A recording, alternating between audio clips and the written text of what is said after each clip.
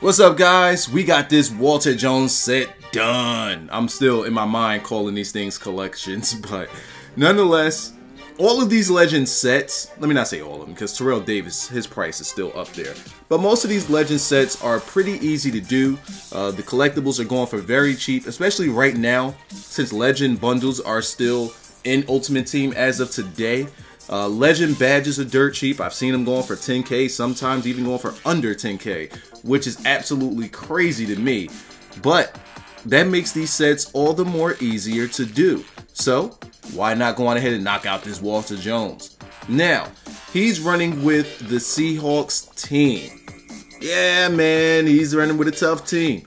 So the first thing you got to do is is stop. You, you would think stop beast mode. No, you have to stop Russell Wilson's throwing on the run. Also, their defense is going to be pretty hard to move the ball against.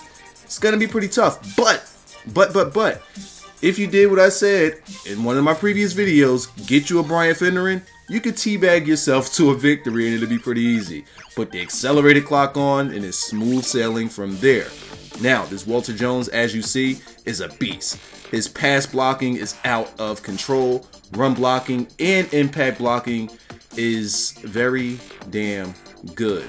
And he is a gem to have on your team. He's going to protect that blind side. You don't even have to worry about a sack coming from that side. Especially at this stage of MUT, where everybody's teams aren't so beefy. He'll likely hold down the left side, um, whoever's coming from that defensive end position. So, is he a get? Well, while he's cheap, I say absolutely.